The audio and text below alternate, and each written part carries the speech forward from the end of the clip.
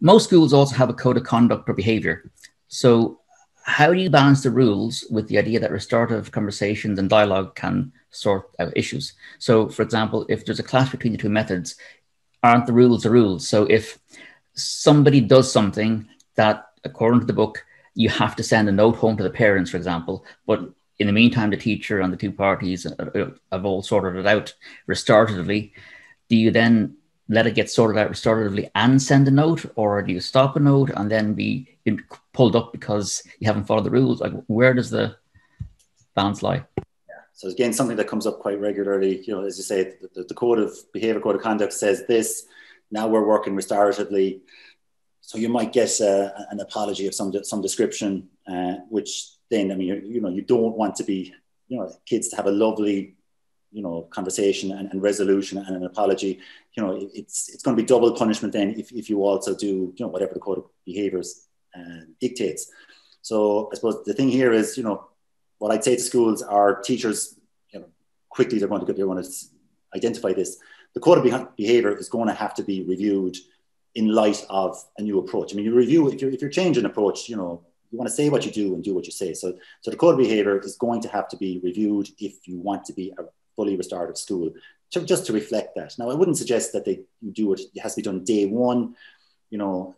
But I mean, you want maybe what just want to identify a few people to start looking into that, and just somewhere in the code of behavior, it says something along the lines of, "Look, we're a restorative school. We're going to have, you know, our first instinct is going to be a restorative approach." Um, you know, and if that doesn't work, you know, maybe there, there's there's alternative um, consequences if you like.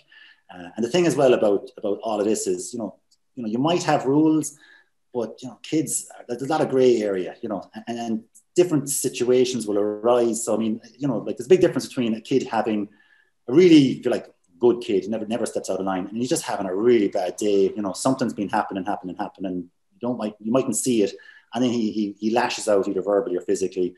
Um, we'll just say verbally, you know.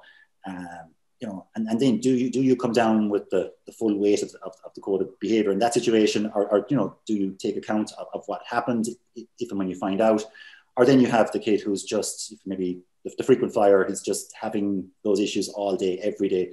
You know, like kids know as well, you know, like, geez, Johnny, Mary, like they were just having a really bad day. So if you can have a start of conversation and acknowledge that and facilitate some some some some dialogue, you know, I, th- I think most kids would say, right, that's reasonable, uh, and that the, maybe the what's what's mandated in the, in the code of behavior would be a step too far. So I think it's our, our fear that can I can I deviate a little bit? But yeah, there's a fear again as, as the adult of, of maybe being judged. Um, but if you're if you if you get that ethos, that explanation right, people will understand. Right, look, it's not not not every situation is black and white, and as a first port of call, if we can try and resolve situations, um, yeah, I think that people would say that that's fair or that that's reasonable. Um, but yeah, so to answer the question, the code of behavior is going to have to be reviewed at, at some point to, to, to, reflect the new the new approach. Um, and just maybe just the follow on question from that is that because your code of behavior is the and like whatever your rules are, whether you're a school, a company, a group, a non-profit, whatever, your rules that you set up and agree for yourselves is what you're held to if there's an issue and has to go to arbitration, like a lawyer or whatever those things.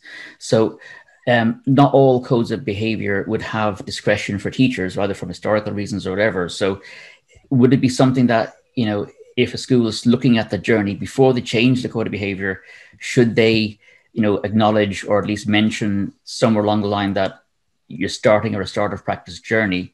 And that you're going to be trying to implement some of these so that it's at least written down. So if you have the situation, you have a parent not happy with something, that you've you've covered yourselves. Yeah, yeah, yeah. So yeah, so, so taking the point that yeah, you don't you probably don't want a big interval between starting to work restoratively and, and, and the code of behavior. Um, reflect not reflecting that so yeah so you know probably a good suggestion to have introduce some line in that as say if you're starting a restorative journey um, going to be trying some some new things, and then you know at the same time then start the, the longer term um, change you know changes that, that, that need to happen.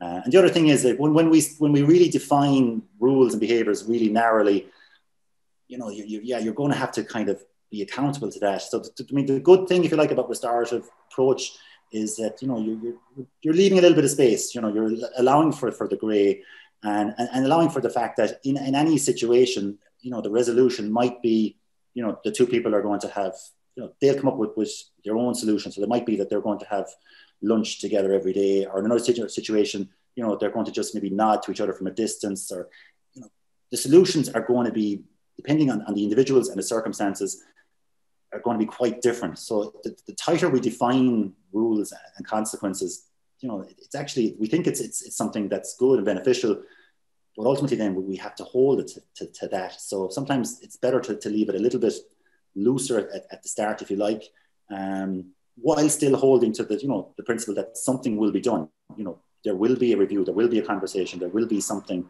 uh, and that if you know trusting that you know if, if pupils and teachers and a principal or parents get together, you know, they will make the appropriate decision. Um, so there's, there's, a bit of trust involved, uh, allowing that grey area, if you like.